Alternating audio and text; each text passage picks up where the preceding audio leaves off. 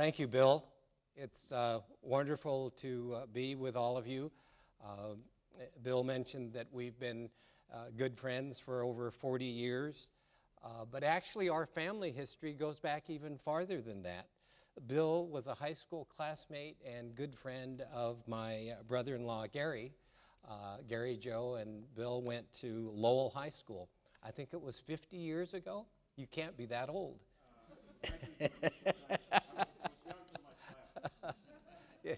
It, uh, well, you're looking well. um, it would have been a special treat also to be introduced my, by my good friend, uh, Justice Carol Corrigan. We've also been good friends for over uh, 25 years, but recently our friendship has been tested. She introduced me to golf. I'm living proof that you're never too old to learn something stupid. I'd also like to thank uh, Golden Gate University for its kind invitation to deliver the Chief Justice uh, Ron George uh, lecture. Maybe you would get more people here if you didn't call it a lecture. I am not going to lecture you. We're going to have a conversation. Um, I had the distinct honor and singular privilege of serving on the Supreme Court for every day, every day of Ron George's exemplary tenure as Chief Justice of California. I also ran on the same retention ballot with Ron George in 1998. Uh, some of you may remember that uh, Ron and I were challenged because of an opinion that he wrote and I signed. Um, on the recommendation of Governor Wilson, we both formed uh, retention campaign committees. Uh, we both raised almost a million dollars. Um, when the chief retired in 2010, I was on the retention ballot by myself. I must tell you, frankly, it was a lot easier to run without him. and I've told Ron that myself. Now, Ron is widely known for his uh, wonderful sense of humor, uh, and he pulled it on me the first day I was on the court. Um, we were in Sacramento in our uh, Supreme Court room, and Ron was in an associate justice, and he was seated right next to me, so he entered the courtroom right next to me. So he turns around and he says, Ming, we have a job for you. When you get in the courtroom, you're to find the missing rosette in the ceiling. Well, I spent the entire oral argument looking at the ceiling. And I'm sure everyone in the audience thought I was seeking divine guidance to make my decision. Well, as it turns out, and you can't tell anybody this because I'm going to pull this on Goodwin Liu. there is a large chandelier in the middle of the courtroom. You cannot see the missing rosette from the seat of the junior justice. Don't tell anybody that. Uh, we have oral argument, and uh, we finish at about noon. Uh, we then go into conference.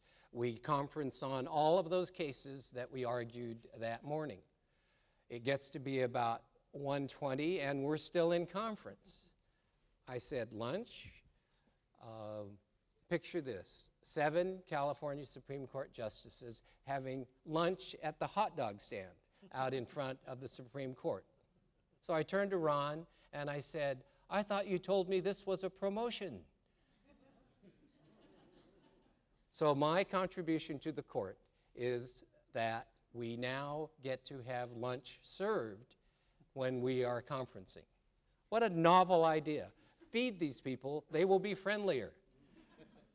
well, uh, one day, uh, all of us uh, come in after oral argument, and each of us have our lunches um, out on the table. And mine is a brown paper bag. And I look in the bag, and there is a pickled pig's foot. I didn't order this. Ron looks at me with that sheepish grin and said, Ming, would you like your real lunch? I had a wonderful time uh, serving with Ron George on the Supreme Court. This evening, I'm going to share with you some of my experiences as a Army captain. I'm going to discuss the importance of the right to freedom of speech, uh, particularly during times of war. And finally, I'm going to make some observations about the very poor treatment our veterans have received. Now, coincidentally, November 11th is Veterans Day. On that day, 94 years ago, World War I ended. It was supposed to be the war to end all wars, and we know what happened after that. Each year since 1919, at the 11th hour, on the 11th day of the 11th month, our nation pauses to pay tribute to its veterans and to honor their service and their sacrifice. Because of their commitment to duty, honor, and country, we live today in the most prosperous and the freest country in the history of the world. The freedom we enjoy today was made possible by the sacrifice and courage of thousands of veterans. Members of the legal profession have a unique and special responsibility both to defend the Constitution during times of war and a similar responsibility to ensure that those who served in those wars are cared for and protected. In 1967, when I graduated from law school, that service and that sacrifice was brought home to me in graphic terms. I was eager to begin my legal career, but I knew that the practice of law would have to wait. A war was being waged halfway around the world. The U.S. Army and President Johnson insisted that I show up. And frankly, it never occurred to me to say no. My parents had two sons in the Army at the same time. Instead of donning the well tailored suit of a trial lawyer, I found myself wearing jungle fatigues in the jungles of Vietnam.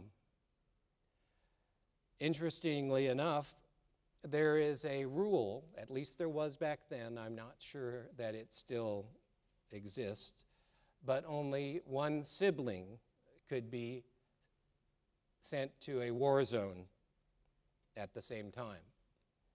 I have never, I've never let my brother Tom forget that. I've also never forgotten landing on the airstrip in Quang Tri. I was in a C 130 cargo plane with a tank in the center of the plane with my personnel on both sides.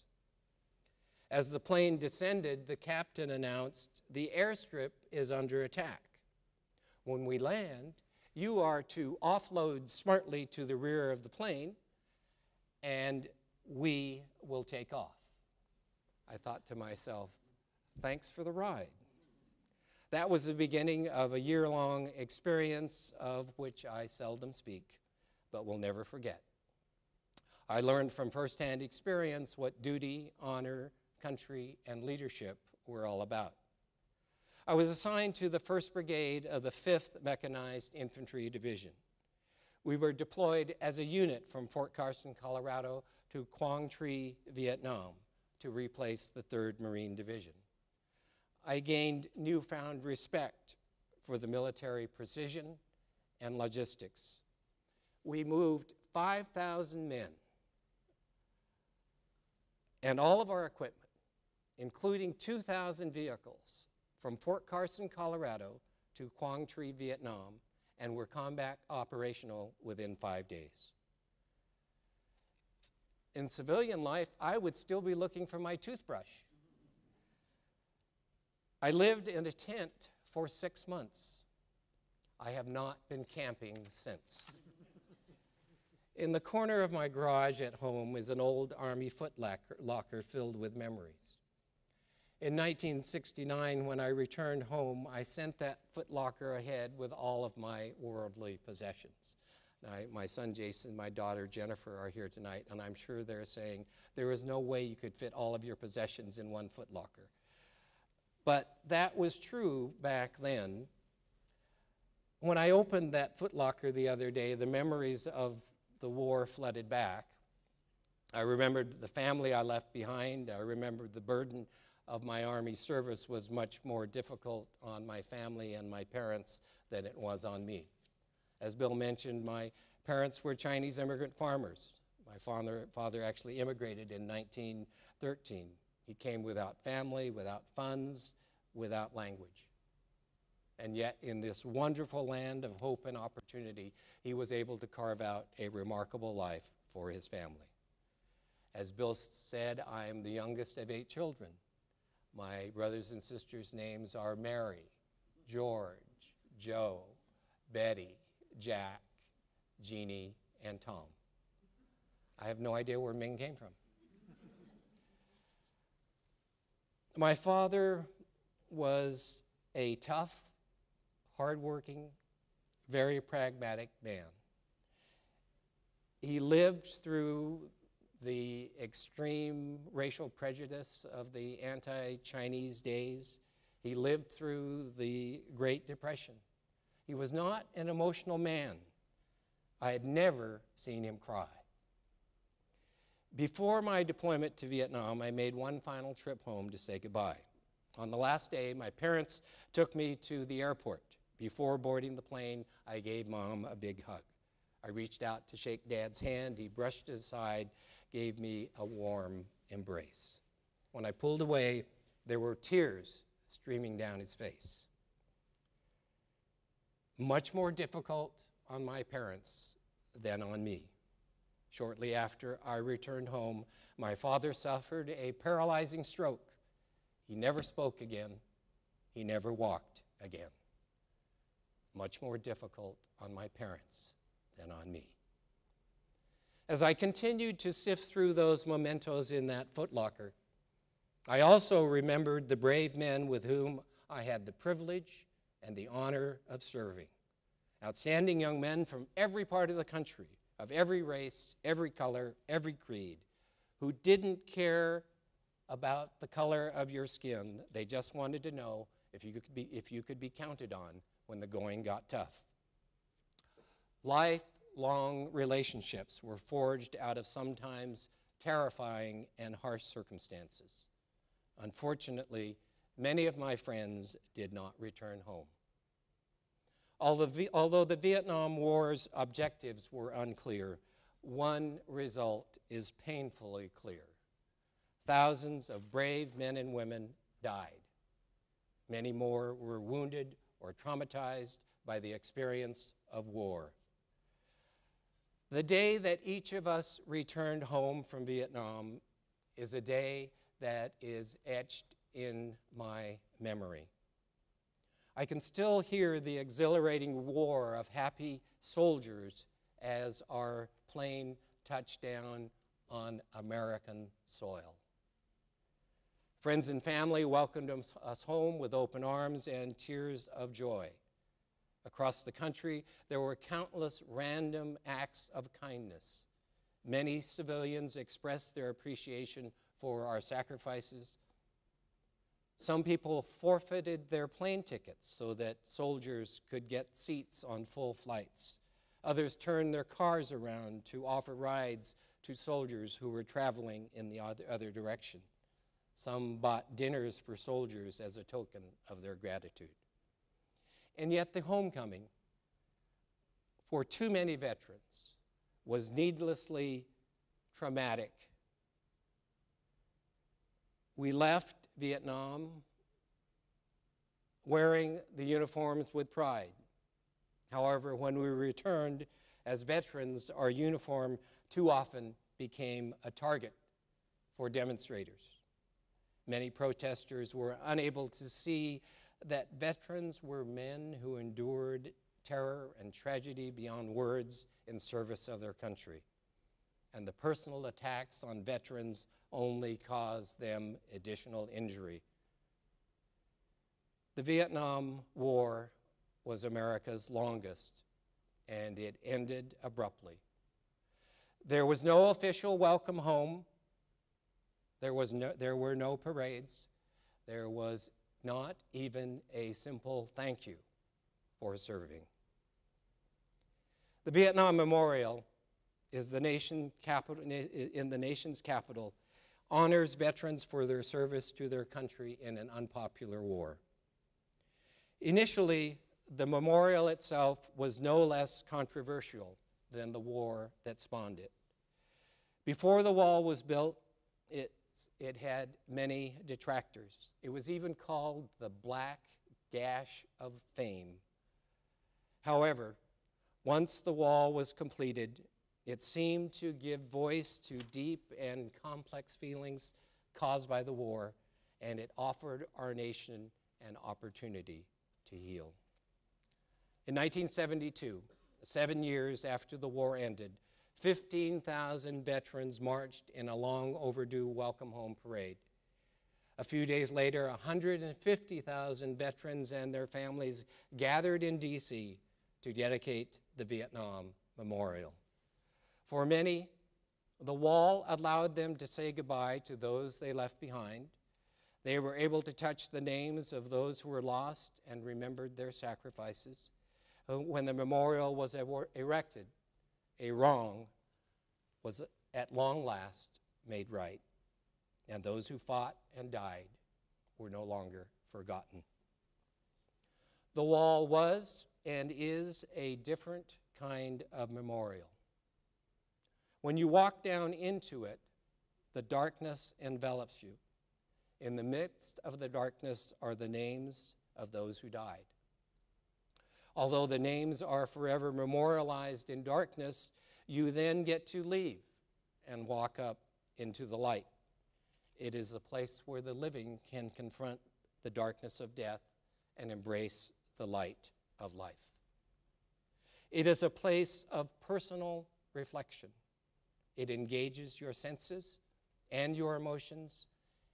It does not leave you unchanged. It became a catalyst for healing the nation. My visits to the memorial are always emotional. But for me, the real poignance of the memorial is that as I reach out to touch the names of good friends, I remember their courage, their bravery, their commitment to country. And then I see my face reflected in the black granite. And I realize how lucky I am to be here.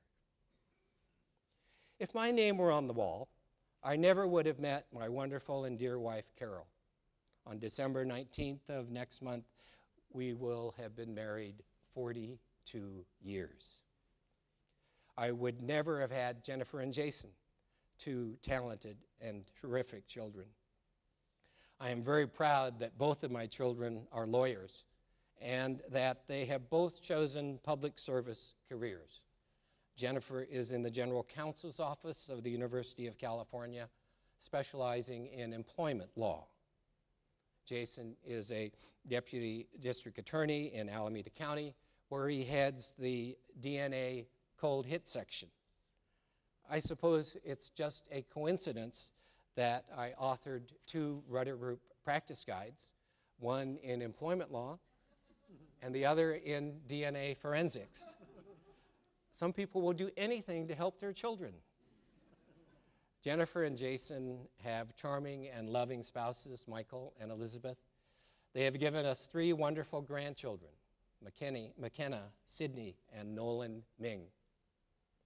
And finally, if not my name were on that wall, I realized that I would never have the privilege and honor of serving as a judge in California for the last 25 years. There is no doubt about it. I have the privilege of living the American dream. Because I have been so blessed, I feel a special responsibility to the 58,000 men and women who did not return home. I feel a special responsibility to contribute to my community. Let us never forget them. Let us never forget the ultimate price they paid for our liberty. Let us remember the unfilled promise in their lives that now will never come to pass. And let us create communities and a nation that would be worthy of their sacrifice. Let us keep the American dream alive for all of us. Now, this American dream of ours was born of the marriage of two important historical documents the Declaration of Independence and the Constitution. The first was written in 1776 while we were at war with England. The second was written in 1787 after we started building the institutions of government that would make this wonderful idea of democracy work. The language of the two documents is really very different. The Declaration gave us the sobering rhetoric of war, the passion to pursue excellence and perfection. The Constitution has less passion, less certainty. There is no reference to the Creator. The Constitution gave us the dry discourse of governments, the structure, if you would, would for this wonderful roadmap for a working democracy. The Declaration was the promise, the Constitution was the fulfillment. The Declaration gave voice to high ideals. The Constitution put those, those ideals into practice. But both, both have as their purpose the protection of our freedom, the protection of our liberty. And our allegiance to those principles is the foundation of our nation. And it is that foundation that enriches all of us. In 1919, when President Wilson first set aside November 11th to honor our veterans, he said we should look back with pride at, quote, the heroism of those who died in the country's service with gratitude for their victory because of the opportunity it has given America to show her sympathy with peace and justice in the councils of nations. The selfless sacrifice of our veterans makes our freedom and liberty possible. As members of the legal profession, we have a unique responsibility for defending that freedom, even in the time of war. To illustrate the point, I would like you to travel with me in a time capsule. It's October of 1919. The United States Supreme Court is about to hear the case of Abrams versus the United States. The five defendants in the case are Russian immigrants arrested for throwing leaflets from the rooftop of a building in New York City. Leaflets that criticized the U.S. involvement in World War I and advocated a strike on munition production. The de defendants had already been convicted, sentenced to 20 years in prison under the Espionage Act, the act made it illegal to use any false, disloyal, profane, scurrilous, or abusive language against the government. Sound a little broad? Well, Justice Oliver Wendell Holmes listens to the uh, defendant's arguments that the conviction should be overturned because free speech should be absolute, regardless of, of its potential danger. Sound a little outrageous? The government argues that any criticism of government may be criminalized during time of war, even if it is unlikely that the views expressed to will impede the war effort. So you have two extremes argued. The majority of the court affirms the convictions as they have in previous cases involving the same statute. Justice Holmes disagrees with both sides. He says the First Amendment protection of free speech is not absolute. The government can't not, cannot suppress speech that, he, that it thinks is dangerous unless the threat of such speech is imminent. Holmes believes that because defendants' protest was unlikely to achieve its ends, he even called this protest silly. He said these silly pamphlets, I think its quote in his dissent reads, the silly pamphlets by unknown individuals could hardly be threatening. But this represents a change in Justice Holmes' view. Just a few months earlier, Holmes had written for a unanimous court upholding the conviction of two socialists for attempting to distribute thousands of flyers to American servicemen recently drafted to fight in World War I. The flyers criticized the war effort, urged draftees to resist the draft. In that decision, Holmes wrote that criticizing the war, war was likely to was like shouting fire in a theater, causing panic. When the nation is at war, many things that might be said in times of peace are such a hindrance that their effort and their utterance may uh, not be endured as long as men are fighting. Why did he change his mind? His colleagues were so bewildered when he changed his mind in Abrams that he, they, they made a visit at, at his home trying to persuade him. They said, The country is in turmoil. The justices pleaded that the court should speak with one voice. The war had, indeed ended. The race riots and labor strikes had spread across the country. Anarchists have mailed booby traps in brown paper packages to politicians and judges, including one to Justice Holmes. Fortunately, that package was intercepted before it was delivered. In times of war, it is all too tempting to take liberty for granted. Now, Justice Holmes was no stranger to war. When he was a 20 year old senior at Harvard, he enlisted in the Union Army during the Civil War. He was wounded three times in that war, uh, suffering a near, uh, near uh, fatal wounds in his neck and chest. Now, um, as a young captain, he was on the front line in the Battle of Fort Stevens. President Lincoln made a visit. The president stood up, not realizing that he was making himself a target. Holmes yelled, Get down, you damn fool! Before the president left the fort, he sought out Holmes and said, I'm sure glad you know how to talk to a civilian. In the years after the war, at a Memorial Day address, Justice Holmes said, quote, This day is the most sacred day of the year. War, he explained, teaches that our snug, oversafe corner of the world is no eternal necessity, but merely a mere calm in the midst of the storm, and we must always be ready for danger. Freedom, he reminds us, is not our birthright. We cannot treat it lightly. It sometimes demands sacrifice. As Justice Eisenhower would say years later, history does not entrust the care of freedom to the weak and the timid. Now, Holmes's view of the First Amendment did not prevail in 1919, but his dissenting opinion eventually became the clear and present danger standard that we are all familiar with. As members of the legal profession, we have a unique responsibility to defend not just our constitutional rights and the rule of law, but I submit to you that we also have the responsibility to care for those who served during times of war.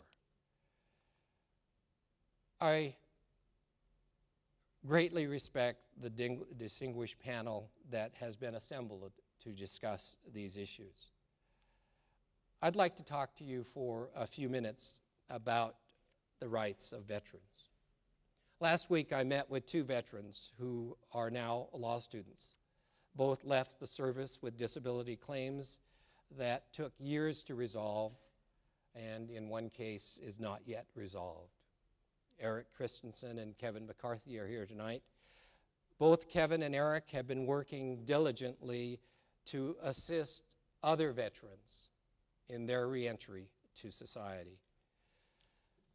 They want a dedicated veterans court in San Francisco to ma match the resources um, uh, with the needs of veterans throughout the city. As of today, only the needs of veterans residing in the Tenderloin are served, and they're served only by the homeless court.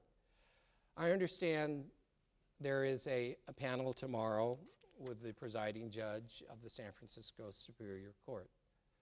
I hope you will raise with her the need for a dedicated Veterans Court. I urge all of you to step up and assist veterans in securing their rights and benefits. Let us, them, let us help them secure the resources that they need and the benefits they deserve.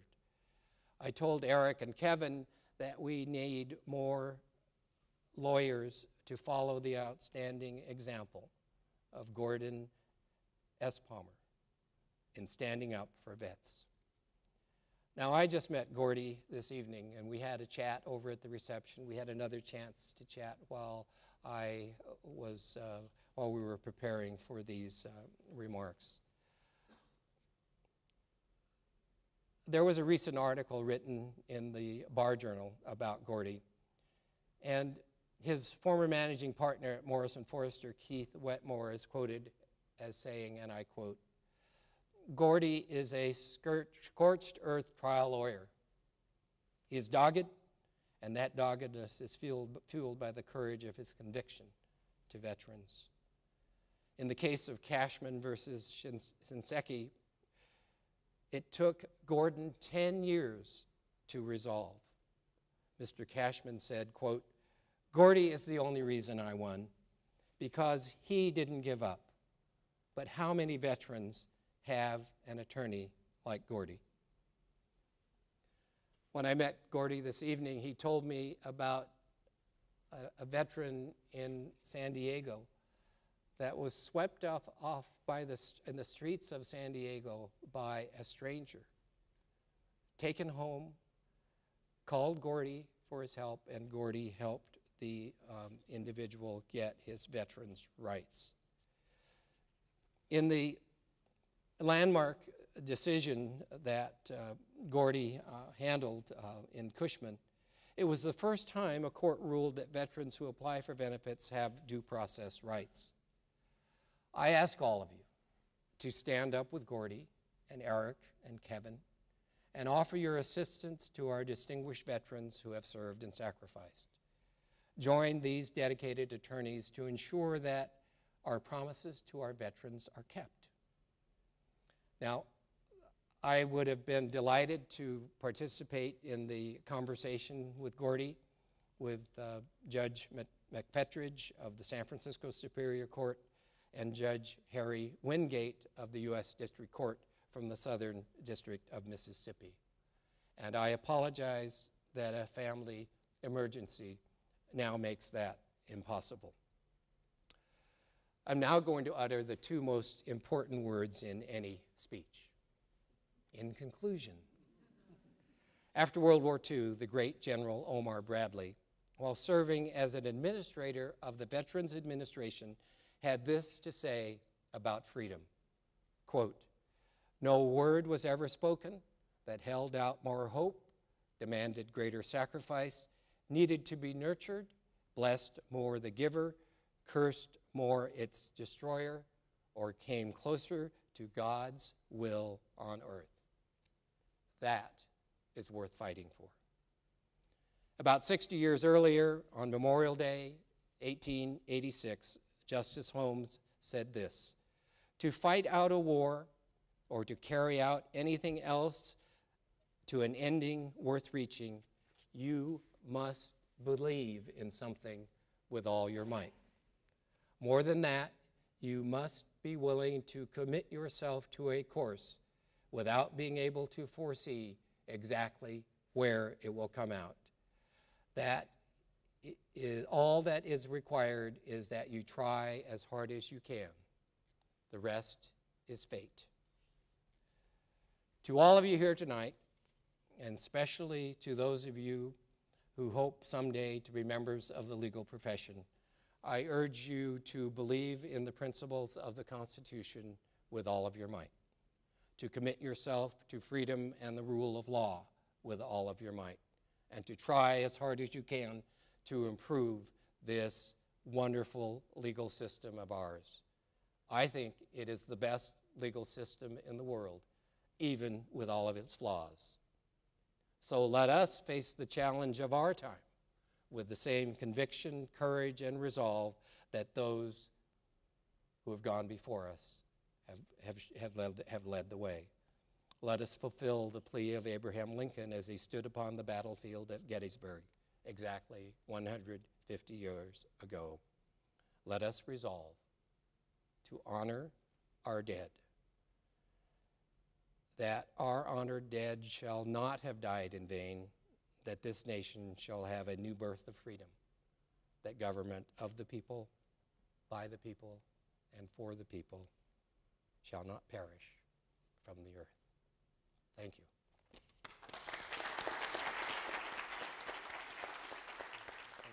Wonderful. Thank you.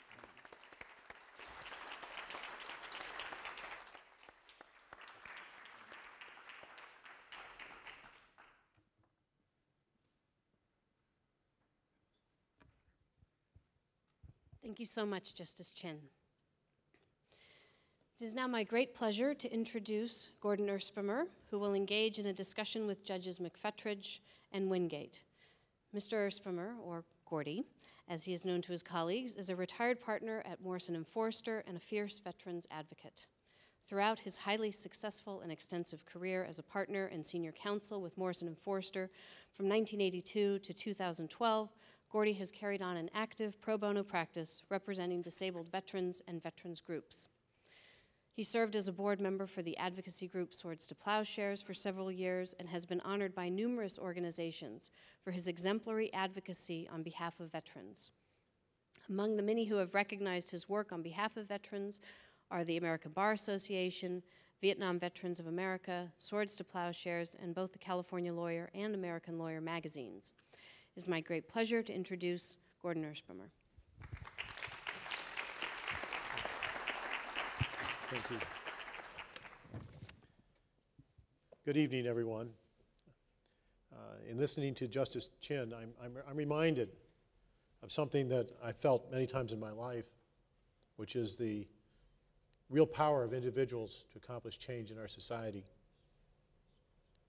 and how important it is that people who have feelings and inform principles early in their life carry through the rest of their lives in trying to establish uh, the means by which those, those principles can be realized.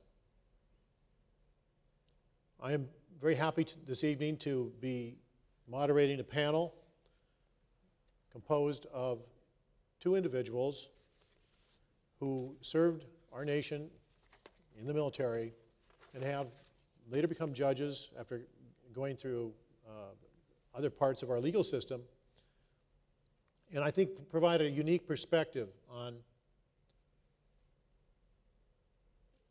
the value of the military training and the, mil- and the perspective in um, serving as judges in, in our judicial system. And they come from two different parts of the country, and they come from, one from the state system and, and one from the federal system. And I, am not going to read their resumes, but I'm going to want to briefly introduce them to you, and then we get started with the panel. Uh, on my far right is, is, is, Judge James McKittridge. I'm sorry, McFetridge. I'm sorry. I do know McKittridge too. That's my problem. He, he is currently a Superior Court Justice in, in the Sacramento County. Uh, formerly was a, a, lieutenant in the U.S. Navy JAG Corps, now retired.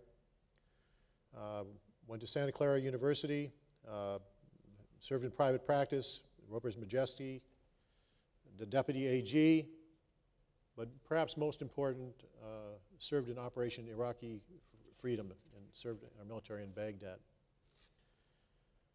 And has continued uh, to, to serve in various capacities associated with the military ever since.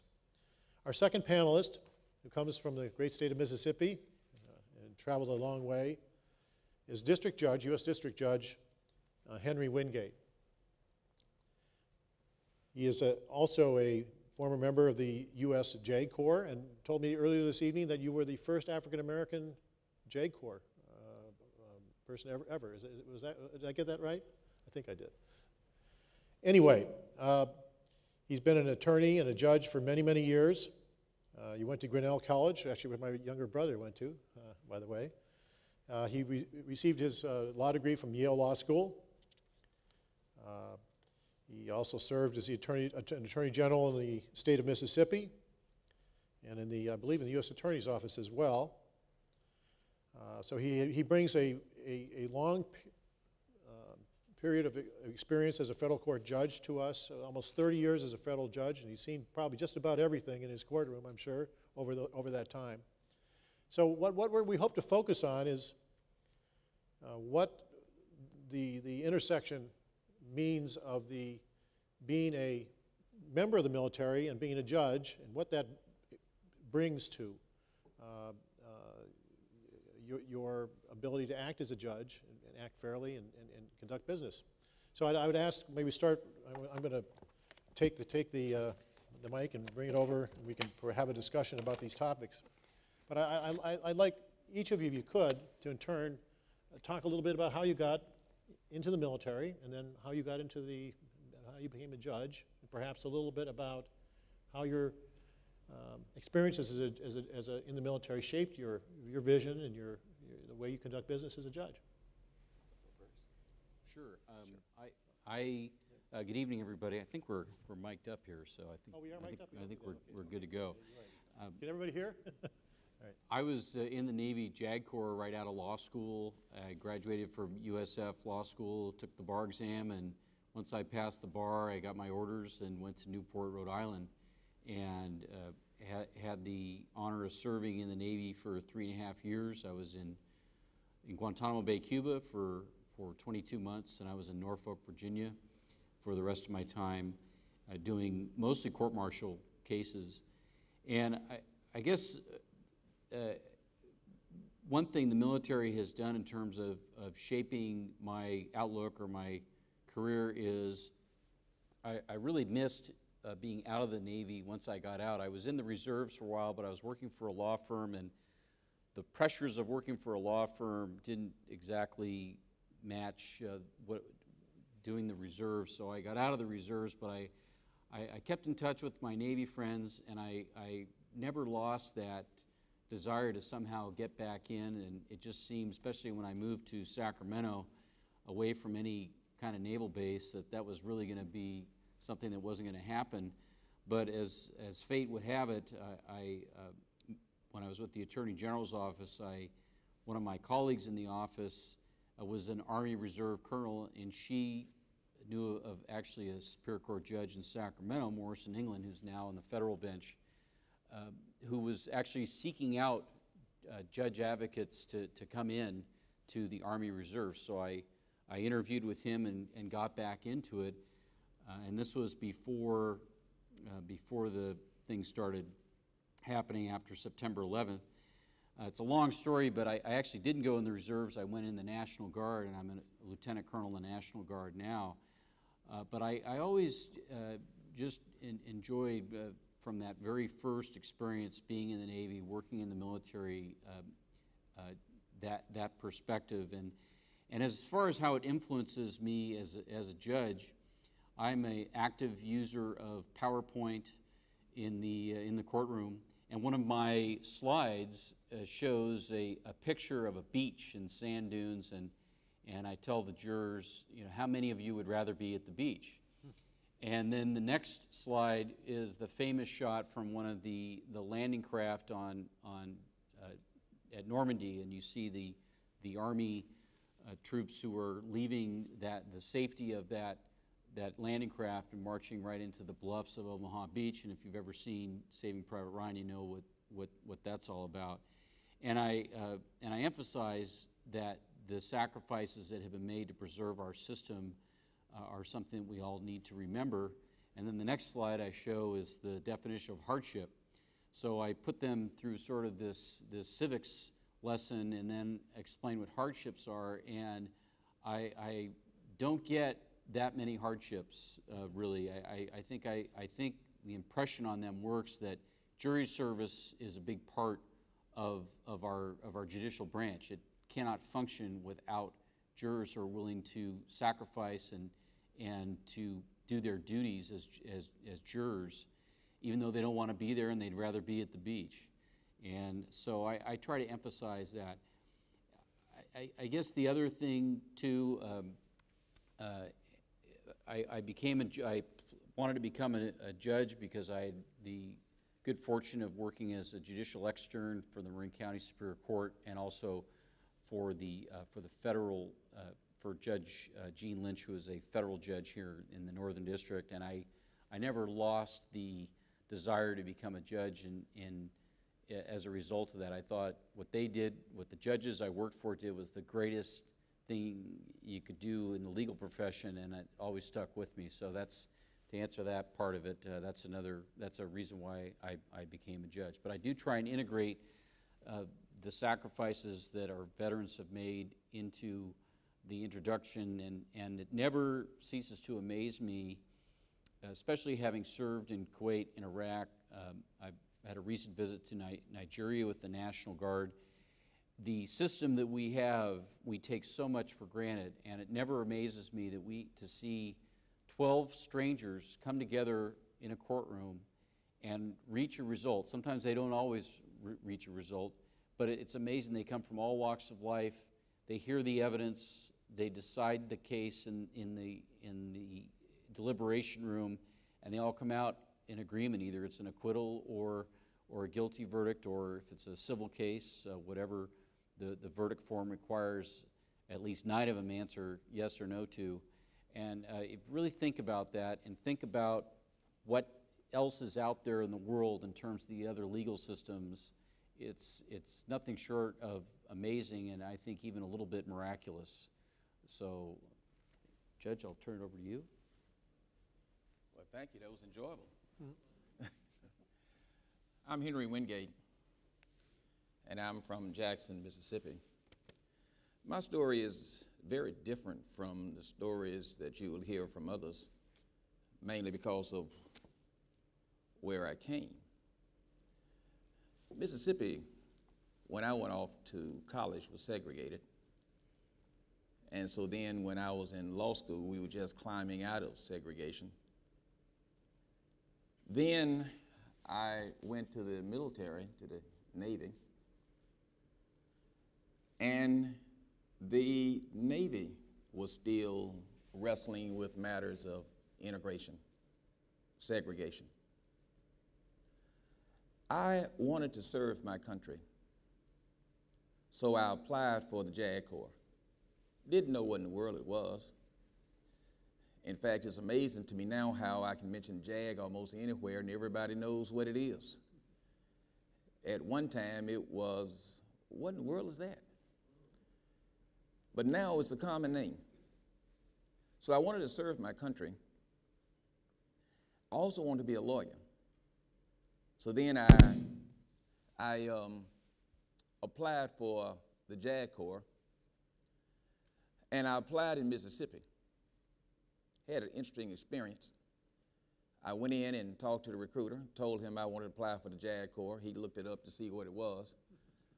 And then he promptly told me that this was a special program, that the Navy was going to select only 90 in the country for this particular program, because those selected would be allowed to go to law school and would be promoted while in law school and the time in law school would count towards retirement.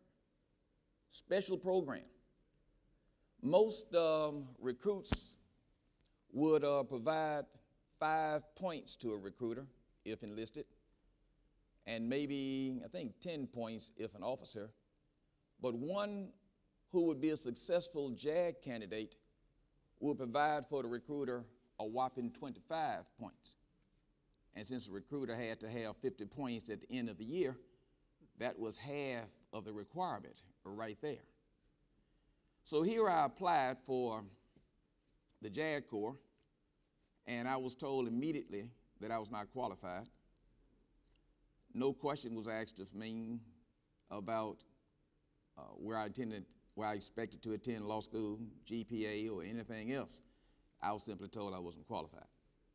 So then I went back to Iowa, where I was in college at Grinnell, and decided I better apply there and hope that I wouldn't have the same experience I'd had the first time because that recruiter and I had had words after he had um, had some choice comments to me, and I had some choice comments to him, and unfortunate for myself, I had much too much hubris at the time because I had just taken a course in karate. so I thought I could take anything and anybody out. And so I had my little view of my uh, invincibility, and of course he had his, and so we didn't quite get along. So that, so that uh, session had not ended well. I went back to Iowa, and I thought I would be in much better company, so I applied there. I ran into the same difficulty. Uh, They told me that they didn't think I was qualified there either.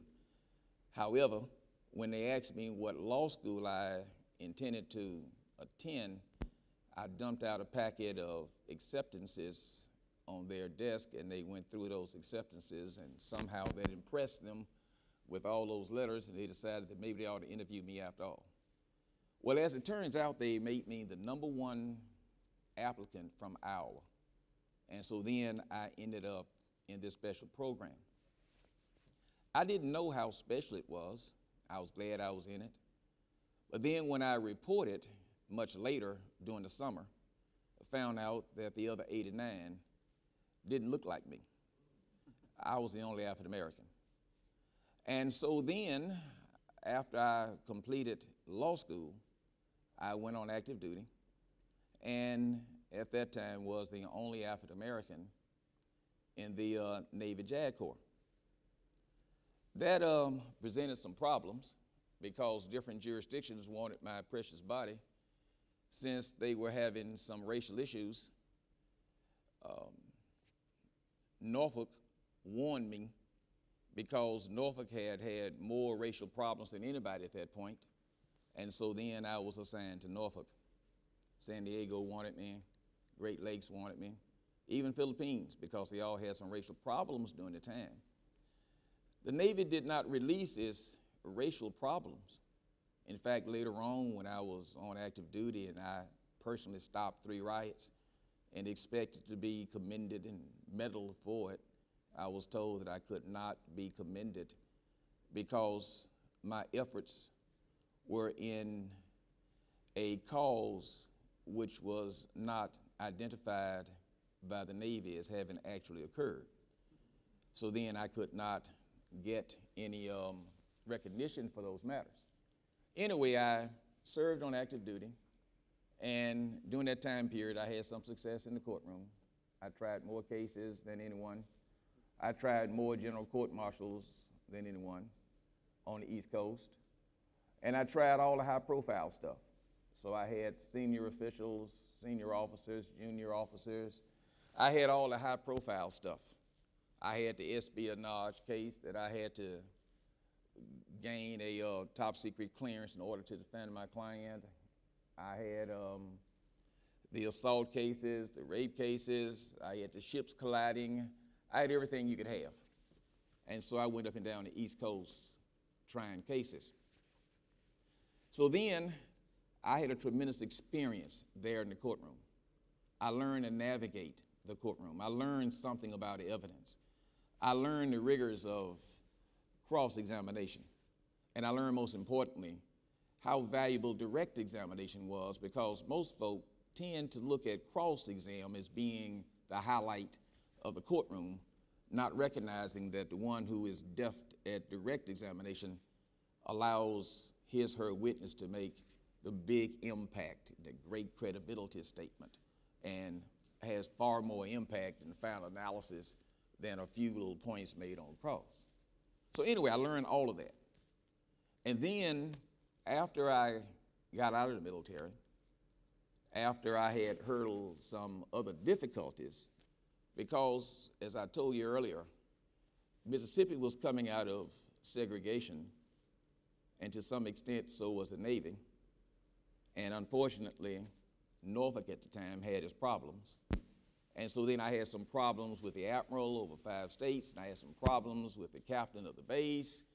And they reported me, and I reported them. I did Article 129, and went to Admiral Zumwalt, and Admiral Zumwalt sent the Inspector General of the Navy down to Norfolk to make an investigation.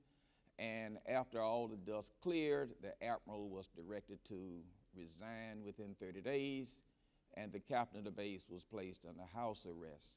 And then people started speaking to me again. Well, anyway, the Navy rectified its problems. did a tremendous job on that, which is why I'm so committed to the Navy.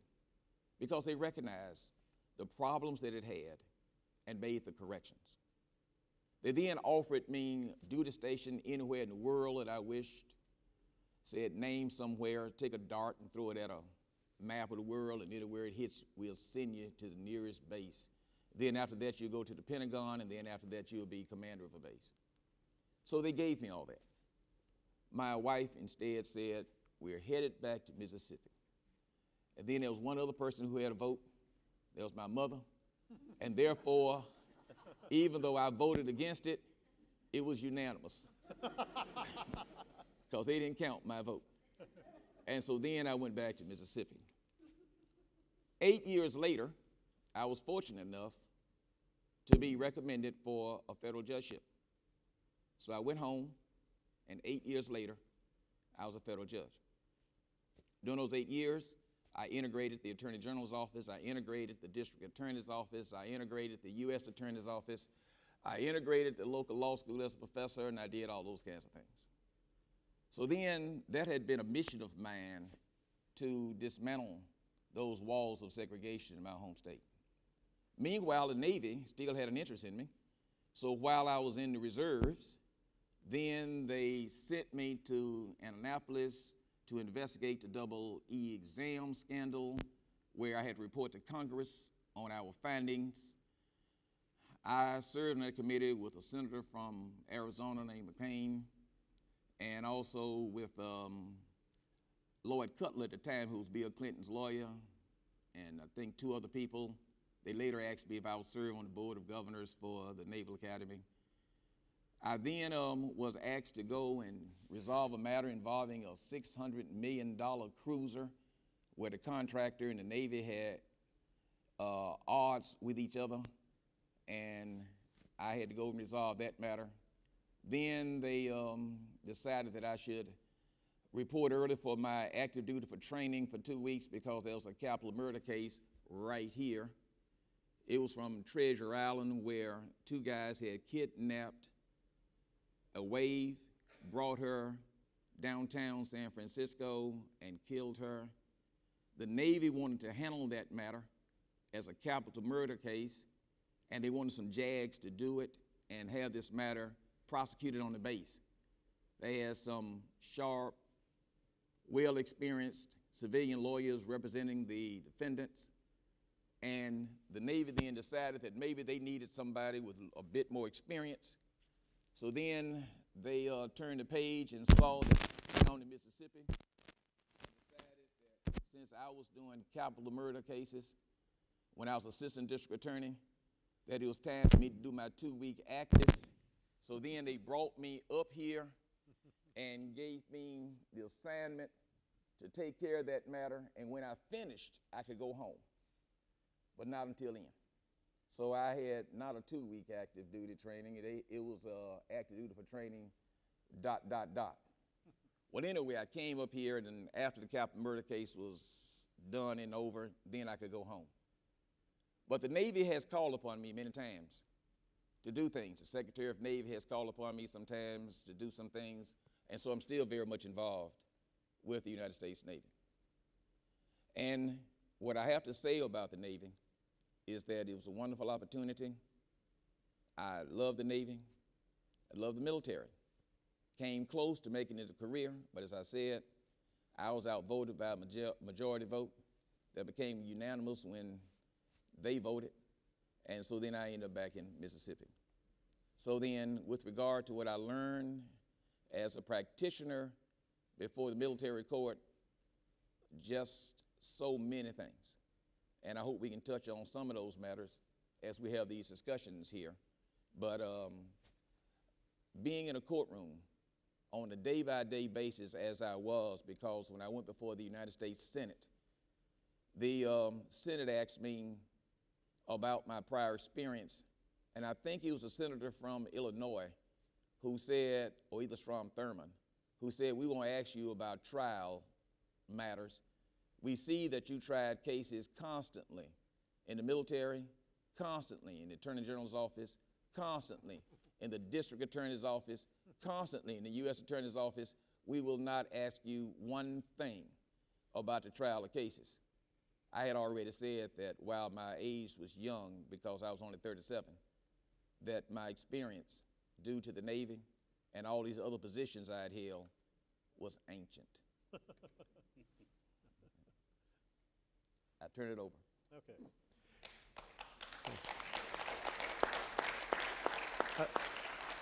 I, I, I, I don't know know how much time we have left, but one, one of the topics that I, that I thought might be of interest, particularly to, to the people attending tonight, was, was the topic of uh, how s- people in active duty in the military are treated differently than our civilians for purposes of the Constitution.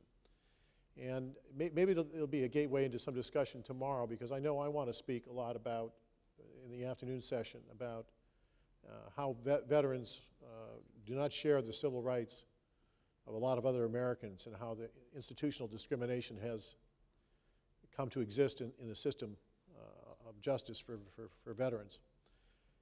But I, I'd like to ask uh, the panel to, to address what may be somewhat a, a, genuine basis for distinction between service people and uh, non-service people with respect to the application of the Constitution. Sure thing. I, I did uh, have a slide here, and I'm not going to read the whole thing, but you can all read it to yourselves. This is based uh, on language in the Solorio versus United States case, and it had to do with military jurisdiction over, uh, over uh, crimes, and, and this gives you a, a- a flavor, at least, for how uh, the Constitution basically created in Congress this power to, to differentiate between uh, members of the military and civilians. And really, the foundation for that is the Uniform Code of Military Justice.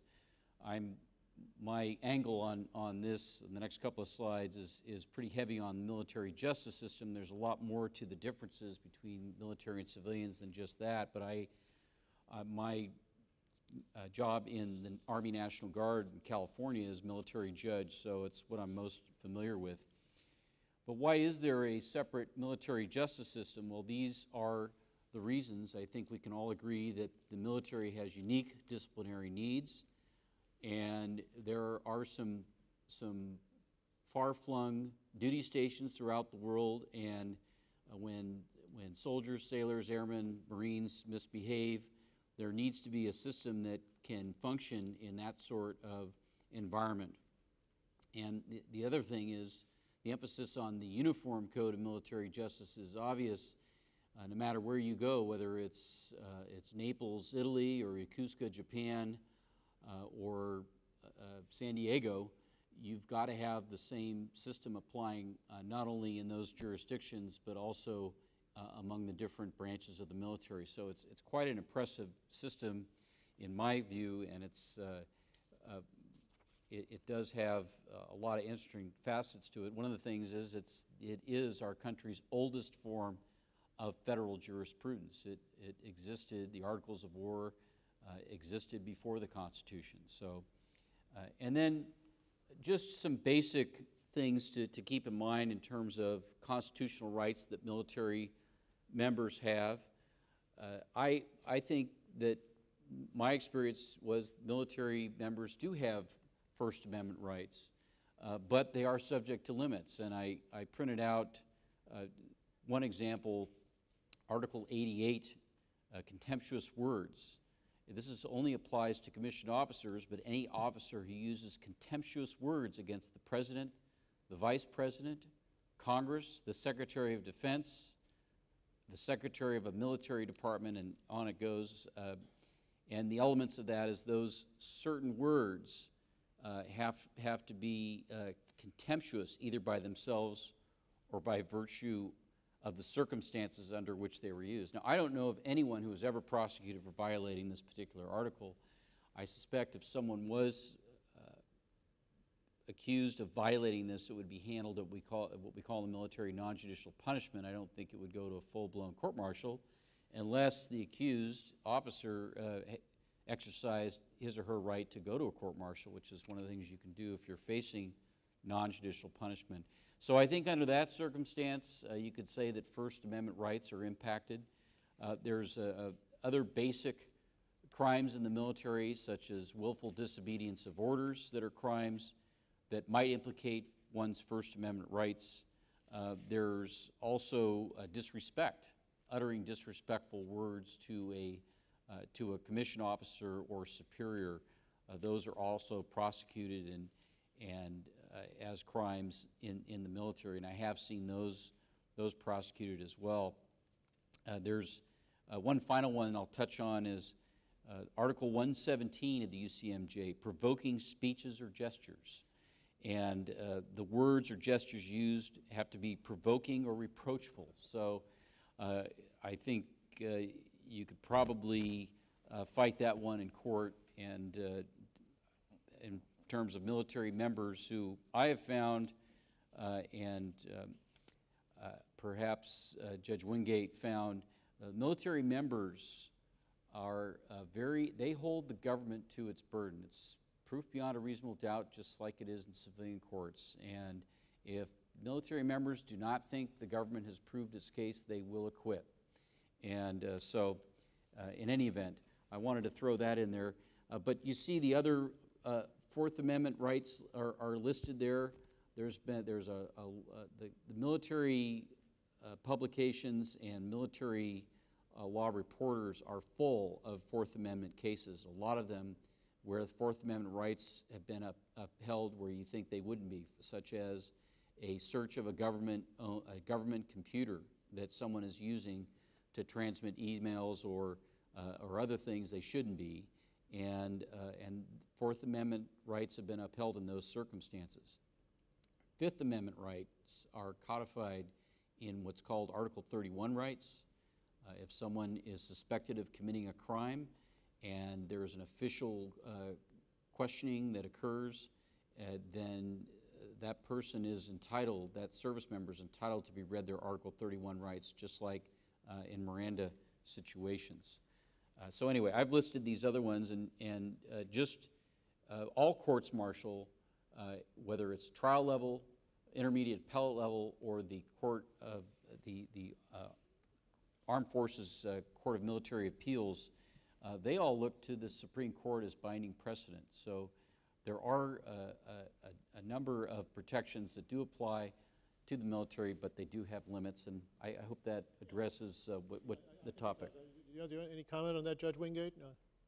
Well, the military is a specialized society, and because of its special mission, the, um, the ordinary rights of the citizenry are circumscribed. Its mission is to protect, go to war. Its mission is to order men and women to uh, charge up a hill in the face of possible death. So then the charging party has to have the respect of the troops in order to execute on that order. The, uh, the military has to protect and therefore cannot tolerate seditious, seditious behavior from those in its embrace. So what it all means is that there are a number of articles which address reprehensible conduct as viewed by the military, but those articles are not specifically delineated. There's no bright line which says this is a violation here. It depends upon the circumstances, which means then that those in the military have to be awfully careful about what is said, what is done, so as not to cross a line, because their rights in the military are not the same rights that they have in civilian society because of the military's special mission. Now, I just want to ask one general question. How many of you are familiar with the judicial system in the military? Okay. Then we talk about non judicial punishment. So then we know that's a captain's mast, and the captain makes a decision, and the punishment is limited. Summary court martial, which also is limited, is a hearing officer there who does not have to be a lawyer, etc. Special court martial, where the maximum punishment imprisonment is six months, and a bad conduct discharge.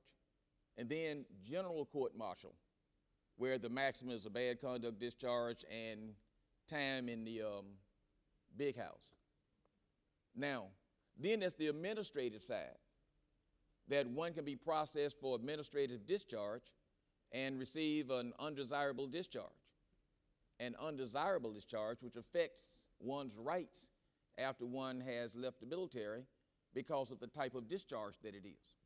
One can be processed out and also be granted an honorable discharge, except or general discharge.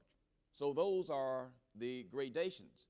Now, if someone is deemed to have violated one of the articles that he's talking here, talking about, that person can be referred to a court martial, one of the, any one of the four we talked about, or referred for administrative uh, recompense with regard to all of that.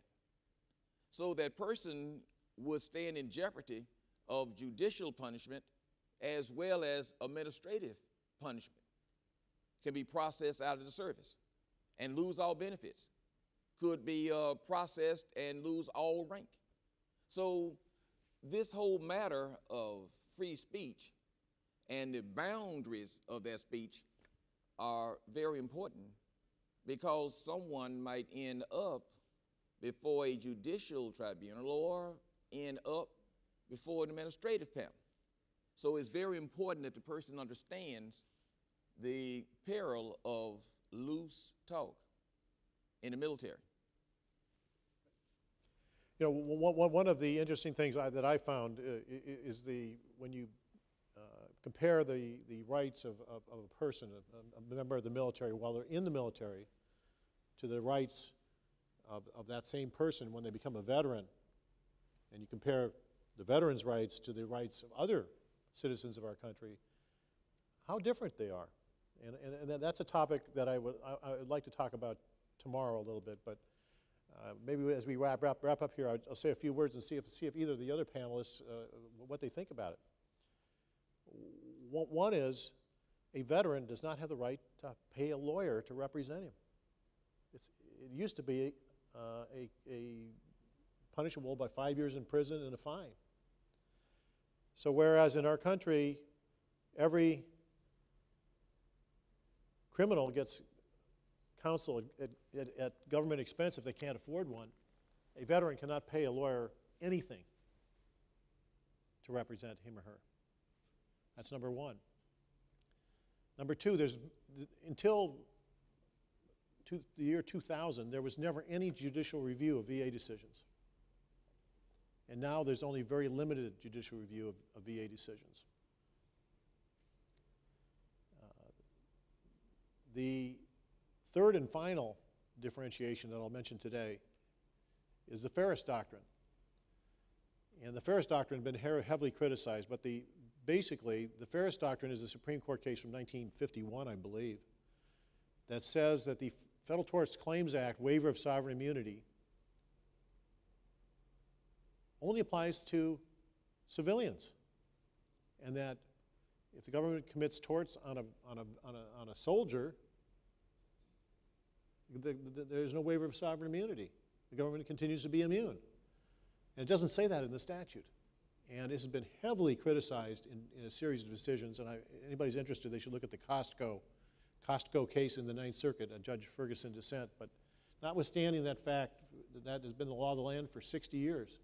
And so the only group that cannot sue under the Federal Tort Claims Act are, are, are military. And I just think it, it, it, it's a distinction that it was wholly contrived, created by the Supreme Court out of whole cloth, no, no statutory exception in the Federal Tort Claims Act, Act itself. And, and it's one of the weakest opinions I've ever seen. But, to, but what, what do you think about this? I mean, do you think the military personnel, when they, after they leave the military and they re- return to civilian life, are discriminated against? I mean, is this, is this a civil rights issue for veterans? And why, why hasn't this got more attention? Sure. I mean, I know that, that a lot of activity right now uh, is focused on the, the sort of Byzantine labyrinth process of appealing adverse decisions on obtaining veterans' benefits. And I know that General Shinseki is doing his part to, to try and alleviate that situation. I, I think there's probably more peop people in the audience who have a better handle on this than I do, but I know that uh, I, I, a recent Army uh, Reserve JAG on-site uh, conference went over the opportunities that, that uh, specifically Army Reservists have to get mobilized to assist veterans in that process, basically as legal assistance attorneys, and help them out through that process. There's probably not nearly enough of them to go around, but it's, at least it's, it's something. And I, I know this is going to be covered tomorrow, and I wish I could be here tomorrow. The speakers who are going to be presenting tomorrow are very impressive. But the, if there was ever a ripe area for some sort of, of pro bono work or, or law students during the summers, uh, it, there's probably not a whole lot of pay involved, but if they want to do some good for veterans facing these adverse decisions, I'm sure they could use the help uh, because there's, there's a lot of need there for that, for that. And I don't know if, if you call that discrimination or just call it a, a, a system that's in need of, of repair uh, to, to help, help out these veterans, but it's, it's not a great situation. Just um, a short comment. I have optimism because of my long years. You see, I can remember when ROTCs were kicked off of college campuses. I can recall where um, uniformed men and women were chastised and spat upon, basically, for being involved in Vietnam. I can recall all the heavy duty arguments as to whether we should be there. I recall so much of those uh, nasty circumstances and nasty times that now when I see um, veterans given preference in getting on airplanes, when I see uh, veterans being recognized when they walk into establishments and being served free, it's a whole lot different than it was. I like to hope that this same wave of gratitude will continue so that these veterans will reach the uh, financial and recognition goals to which they're so dearly entitled. Well said. Well, I, I think we, at this point, we should maybe wrap up. The, uh, uh, do we, would want to entertain any questions, or we just want to wrap up? Uh, Does anybody have a burning question they want to ask?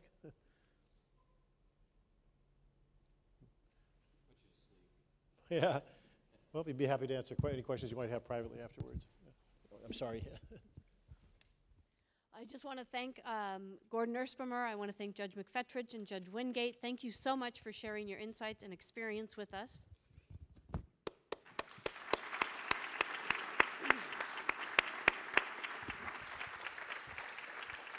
Want to thank again our sponsors and community partners.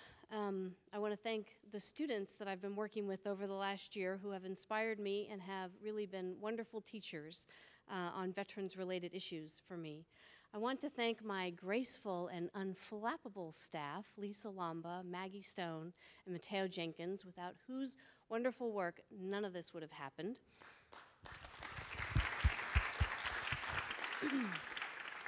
And I want to thank Golden Gate Law student Sarah Yohei Quinta and our veteran student ambassadors for their important contributions tonight. I hope that each of us find ways to continue to organize the legal community, law students, and veterans advocates to help build and support the broad based coalition needed to address the justice gaps veterans face.